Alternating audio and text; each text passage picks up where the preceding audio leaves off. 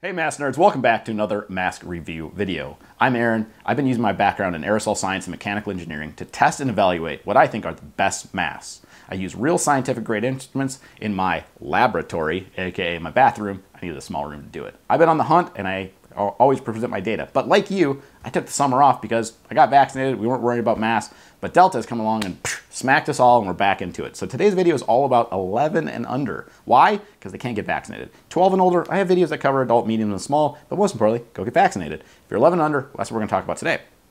Now, this is a primer for parents that might be new to these concepts of better masks because we've kind of skipped a couple generations of masks. My opinion, we could have gone best already, but we'll just talk about what good, better, and best are. But first, what are the three most important aspects of a mask? Well, the first, the three most important aspects of a mask are fit, filtration. Filtration is the most important. We need a mask like this surgical mask has the material in it that captures particles. I like to call our technology, right, this melt blown in here that does that. But there's also other important aspects like fit. Now, the surgical mask might have the filtration, but clearly does not have the fit. You can see that when I breathe, air can go around the mask and not through the mask. So when we talk about what we need, we need filtration, we need fit, and we need comfort, all day comfort, because the mask you don't wear is one that doesn't work. So when we talk about surgical masks, they touch your mouth, they suck into your mouth. Uh, if you wear a mask that are really tight or hard to breathe in, those become difficult to wear all day. And so I've been on the hunt for what is the best in all three of those categories. So when you talk about masks, there's I consider three good categories. There's good, better, and best. Good, in my opinion, are going to be your base model mask. Now, cloth mask, in my opinion, is not suitable enough.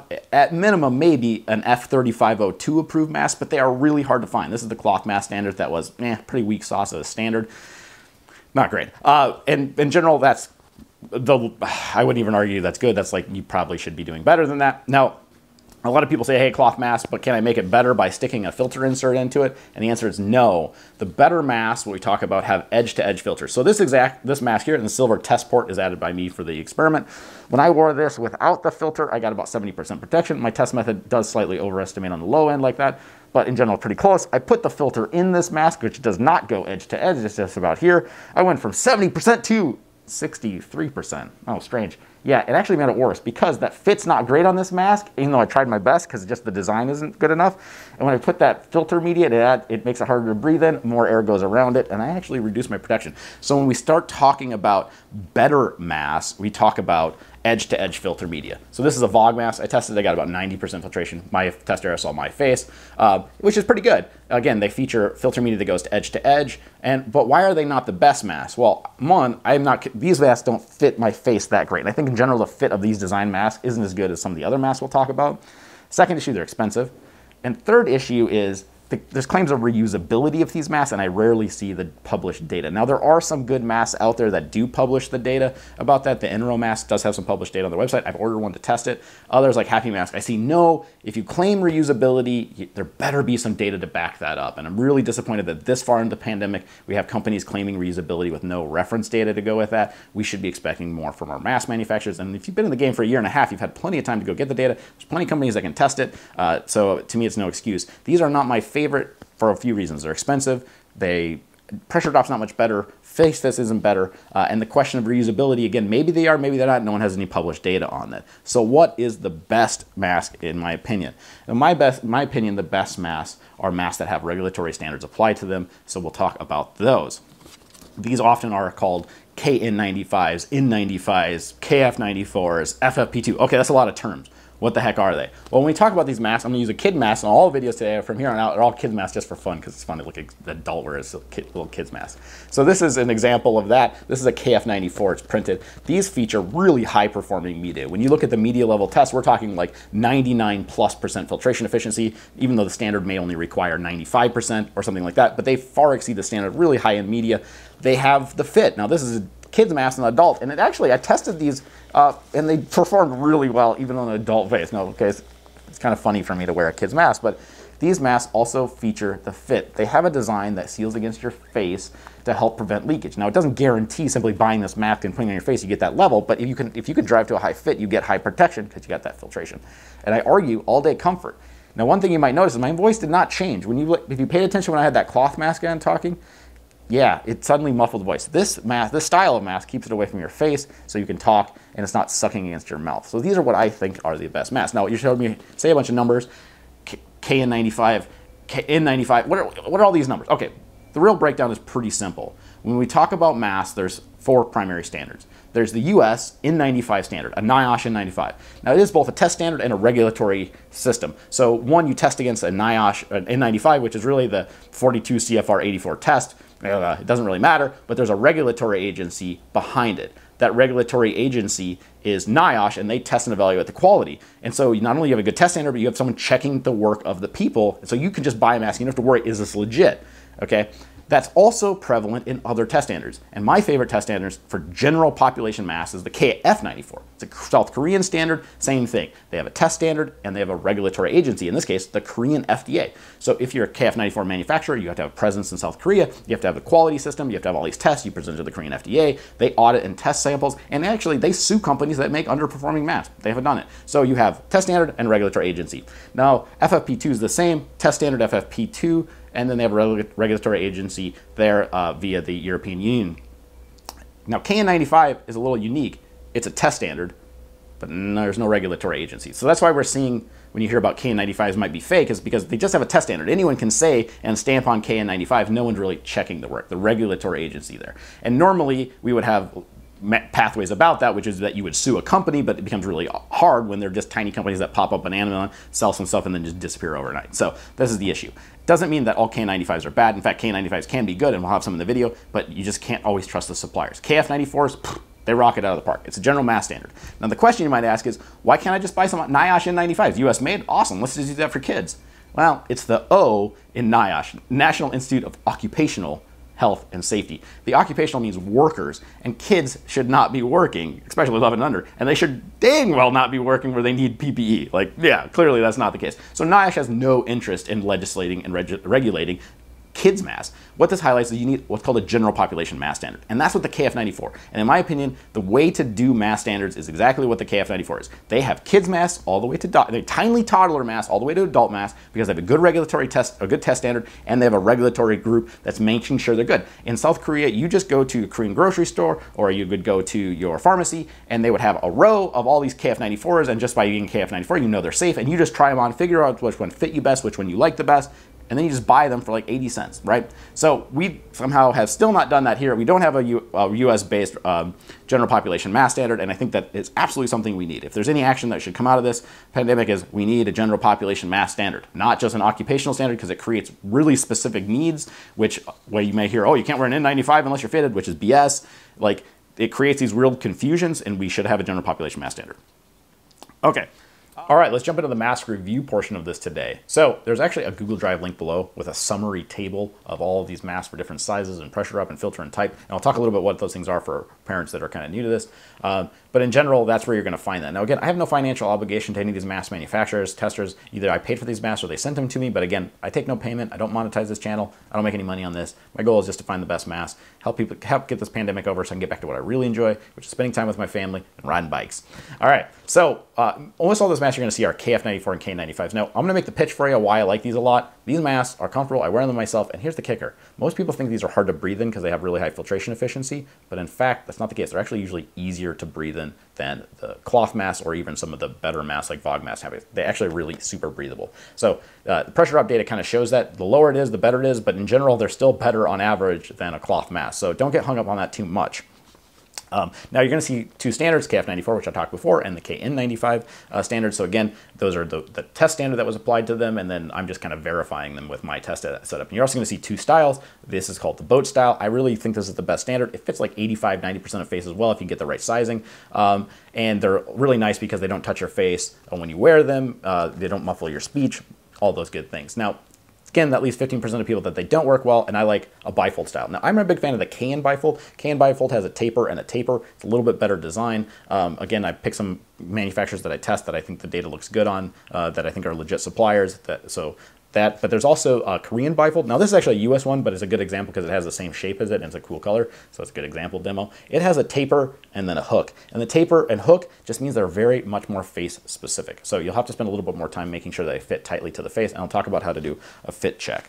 Now, one of the things you're also gonna see is pressure drop. When we talked about when the breathability, well, pressure drop drives that all day comfort. And so you're gonna see a column over there for pressure drop. Lower is better. Pressure drop means the resistance of airflow through the mask. So a higher number means it's harder to get through the mask. So we want low number numbers, more breathable. My method isn't great. I use my big adult lungs and my big adult face to do this test. And so a mask that's this big and a mask that's this big, which are very two different size masks, are going to perform differently just because there's more filter media. So keep the keep the comparison within age ranges and if they're really close numbers together my result method is not that great at resolving small differences but if it's 0.2 and 0.6 okay there's definitely a difference there all right next thing is we got to talk about fit masks only work so they have the good media i got that but i can't guarantee a fit. That's the big question. So i can show you a pressure drop and i can show you a filtration data but i can't guarantee a fit. It's up to you to make sure you find a mask that fits. And i'm to give you some tips about how to fit a mask.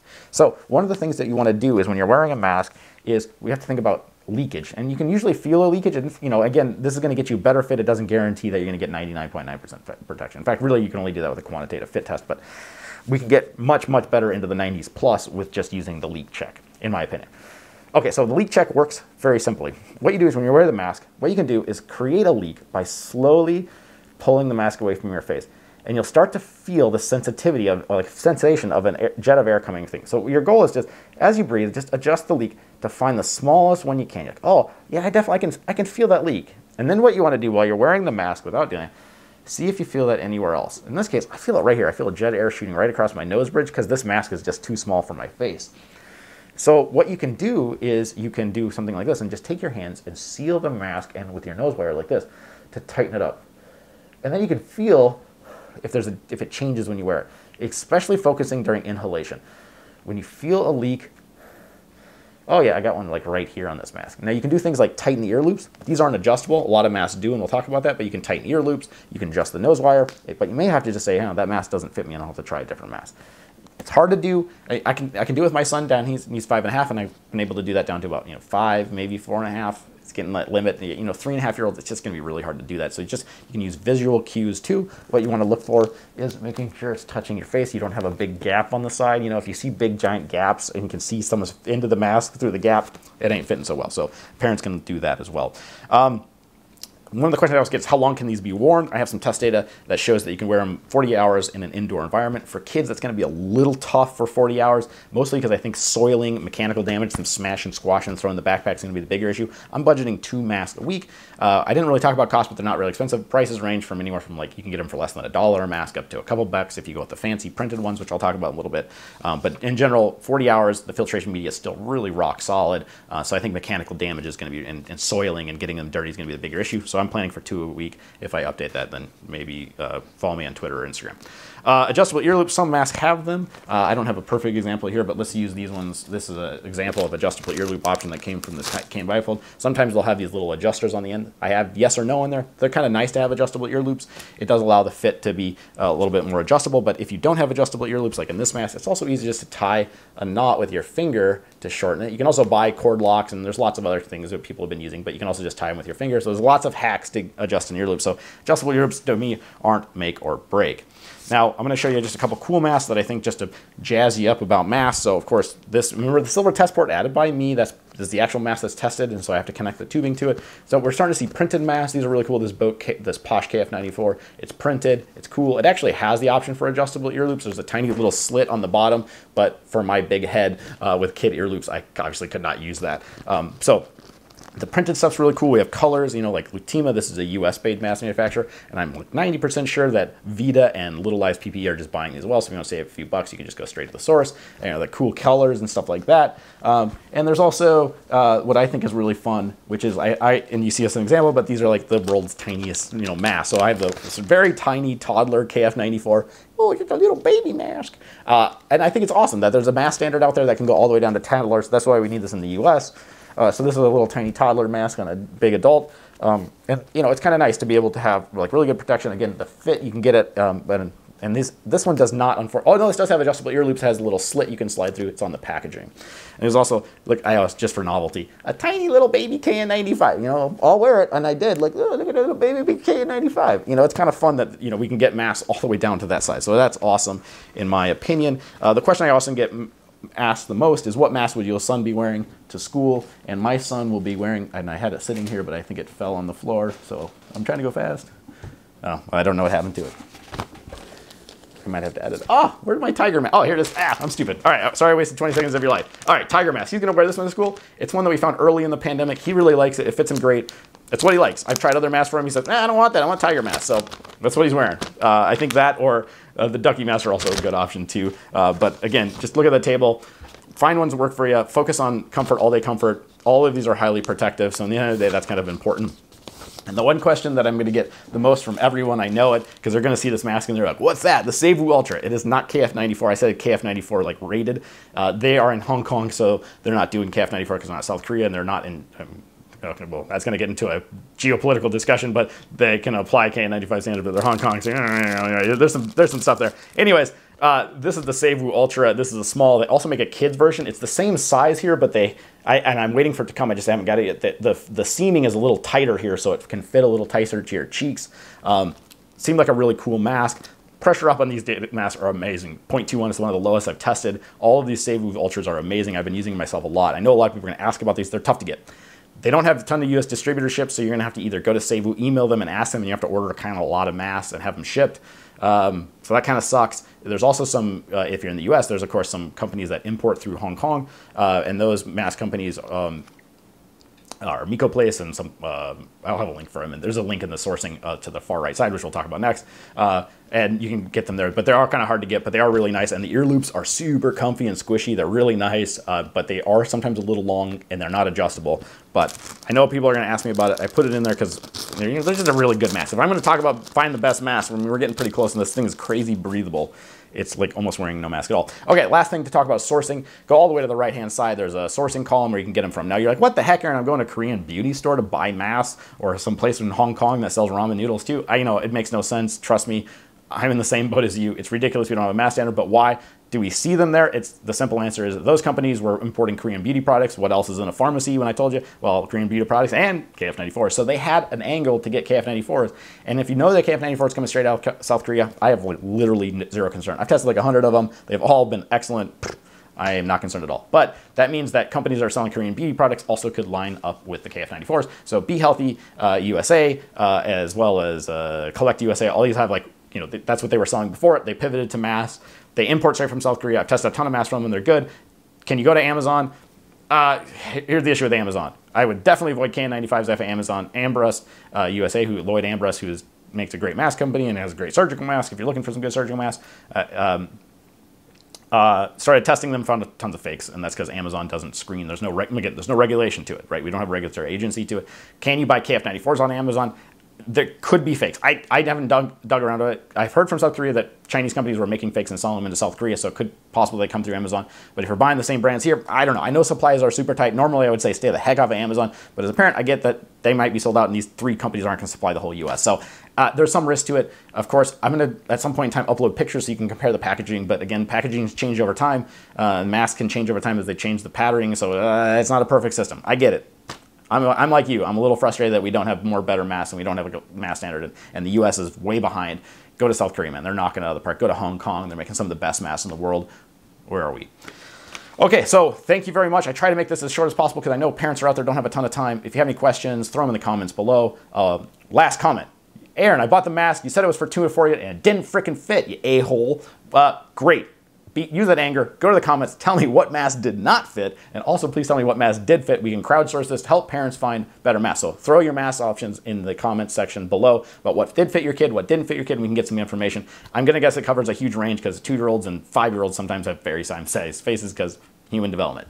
Um, as usual, you can like and subscribe if you want. If it's a bike video, the pandemic's over. I almost released a bike video. I was like, ah, I better not. And then, yeah, I got lucky because pandemic's apparently not over. Uh, you can always uh, subscribe to me on Twitter and Instagram at the Mask Nerd. I do post mostly on Twitter if you're asking for questions and stuff like that. I try to answer them all I can. I'm going to be on vacation for a couple weeks, so I'll be radio silence, but I want to get this video up before I could. So thanks everyone for hanging around, and have yourself a great day.